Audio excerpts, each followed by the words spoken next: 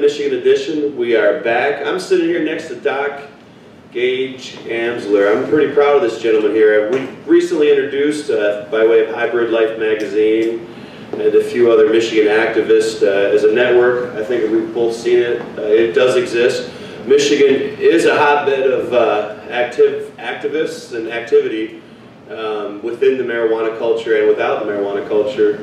Um, that's a really neat book, Strains of War. It's a great title, I think. Yeah, I, um, actually, they actually have a ghostwriter that helped me write it, Really? and um, they actually came up with the name of it. But and I, it, I'm so glad that I did it. Um, but uh, my ghostwriter actually, uh, um, her name is Melissa DeSalzo. She's actually a big actress and stuff too. And she, they actually, once they heard about my story online, they actually sought me out because she's like, wow, this is like movie material. Right. So they wanted to write, you know, write it. So the actually, the book is written kind of a first person in a way, but it's also kind of written where, like a screenplay, you know, throughout it. So that way it maybe, who knows, you know, to do it. But Right. she thought it, it would be a, a good movie maybe someday, but uh, I would love for that to happen. That would be great. I can see that roles casting now, ladies and gentlemen. Uh, Strains of War, Doc Amsler. Stay tuned. We'll be right back. Roll the vote. Flint, Michigan.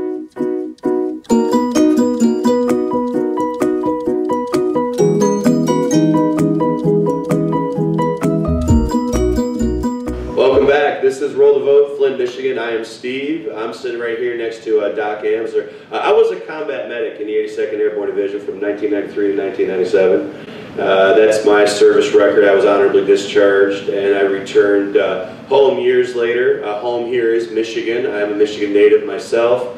Uh, pretty proud of all the things that we're doing as far as Michigan and activism within the marijuana field. I'm a firm believer that we're leading the way in that direction. How, how do you feel that? What's your observations about the Michigan uh, marijuana activist scene? Do you, do you see things happening, progressing? Do you see positive change? What do you think? What do you see happening here? Oh, it's amazing. Um, one one thing I've noticed is that uh, you know what I was asked one time, you know, who, who do you respect? You know, who do you look up to? And, and you know, besides my daughter, of course. um, but uh, but the uh, meeting the people, the, the older activists, the people who really kept us going, like John Sinclair and people like that. And I respect people like that because they've been fighting behind the closed doors for so long, you know. And now they're just stepping out, and now because you know, it, and it's like God, thank you for people like that because they're the ones that kept us going. But now that they've you know kept that going so long, and they've been able to come out and really, you know, make a big difference. A lot of other people I've noticed now are really jumping on that because they now they're respecting that as well. And because of that, uh, it's helping. It's giving people more strength to come out. So yeah, I think that it, it is gaining strength. The movement's getting a lot stronger, um, and uh, and I don't think it's ever going to stop. I mean, it's it's it's it's it's on train. It's on a train, Yeah, man. I agree. I agree. Uh, Doc, man, it's it's wonderful to welcome you to uh, the Michigan activist scene, and uh, we have open arms for you, man. I believe this guy has a mission. I believe that his book, Strains of War, is going to help open up some eyes and change some hearts and uh, allow you a look. I mean, I've, I've been reading it. It's a very engaging um, book. I, I don't want to share any highlights, but I'd like to I'd like to get to know the man behind the book just for a second. Um, coming out of the cannabis closet isn't easy. Uh, Post service, you experience a lot of peer pressure that, that's pretty insurmountable. Post any service, I believe, law enforcement, and coming out of the, the closet and telling your peer group that, hey, I support cannabis isn't, isn't very easy, is it, No, Doc? no, not at all. No, especially when you already have a, you know, like say for me coming from my background, being a firefighter, paramedic, and all that, it's like, you know, you. it's yeah. So it, it, it blows my mind. Yeah. Sure, sure. Um, I'd like to, to know any kind of advice you might like to give. See, uh, one thing that you got to know about medics in the field is that uh, we just we got to get things done. You know, the, every option that we have available to us is an option that may save a life for 10 seconds. That 10 seconds may turn into a lifetime. Right. Uh, Yep. Yep. um, I I was wondering if you might have any advice uh, to any young person out there who may be thinking about joining the, military service uh, on a personal level. Any kind of advice you could offer our younger folks from your perspective, sir? Uh, uh, wow. Yeah. Yeah, that's a tough one in today's society. um, if you're going to do it, know you're doing it for the right reasons. Okay, don't don't say I'm going to join the military to save the world. Okay, I'm going to join the military to, um, you know, to, to protect the country. Okay, you know, I mean, you, you do it for yourself. Okay, the military is, is there's so many different jobs in the military that I mean, that, that you could really get a great opportunity to start your life. I mean, I came from, I came from the streets. I was living, I was literally living out of my car when I joined the military, you know, and they saved me. It saved me. It got me off the streets. Really? Yeah. mhm, Yep. All right, all right, there you go. So think about things, ladies and gentlemen. You young people out there considering service, I, I echo what he's saying to you. Considering what you're doing, consider your actions, uh, think about it long and hard. I recommend a little bit of college under your belt first. Yeah, yeah, I would say, you know, it's kind of like, you know, you can't go in the military just to try it out. Okay, you're in, you're in. So, you know, make sure that when you do going, you're doing it for the right reasons. But, uh, but look into the jobs that, that, that are offered in, the military. There's so many different types of jobs that you can do, um, especially now with a lot of, you know, tech jobs, you know. Um, so I think that uh, if you're going to go in the military, I think that um, it, it- it's definitely a great opportunity to, to get yourself started. But you know, there's other opportunities too. I mean, college is a great thing. You know, I mean, I, I think that maybe school might kill kill creativity a little bit.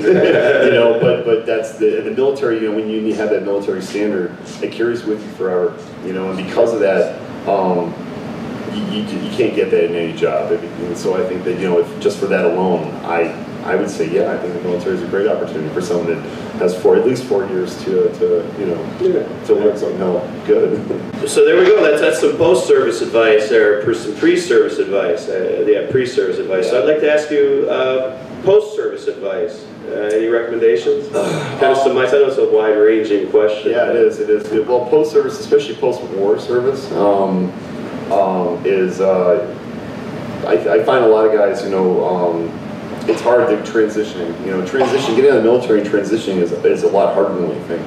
Um, I've, I've, I, I've had a hard time myself, and because of that, uh, um, your best way to, to, to do that is, is support from other guys and, and other veterans, and that really is where most of your support is. And so I think that, that once you get out of the military, um, you don't stop being military. It's, and because of that, I think you need to continue having some sort of bond with that. And you know, keep in touch with guys or whatever. You know, go through the VA if you can. You know, find um, programs that they uh, they offer. But uh, um, you know, I mean, I don't know a veteran, any veteran that's gotten out of the military that has cut ties with any other veteran. So for me, it's just it's continuing the support. Continue to support. Yeah, yeah, that's the biggest thing. Absolutely wonderful. Uh, stay tuned. Come right back with uh, more words from Doc Gage, author of Strains of War. We are here. Roll the vote, Flint, Michigan. We are back.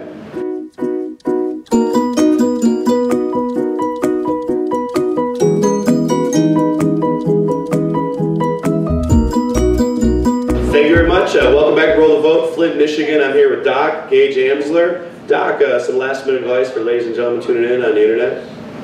Um, you know what? I uh, I opened this. I wrote this book um, to. Uh, I opened my life up uh, because I wanted people, other people to learn from the things that I've been through. Um, I it, it wasn't easy to write, uh, but it was also therapeutic at the same time.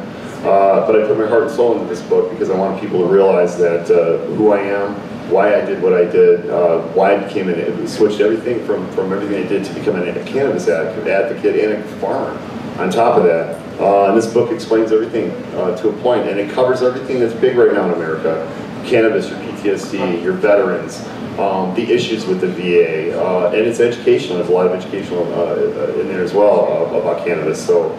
Um, and uh, it's, it's it's a great read. You know, I know I wrote it, but honestly, it, No, no, I'm, I'm going to agree with them. It's okay. You, Yeah, thank you. Ladies and gentlemen, this has been Doc Dave Amsler. His book is Strains of War. Please uh, pick up a copy, support veterans.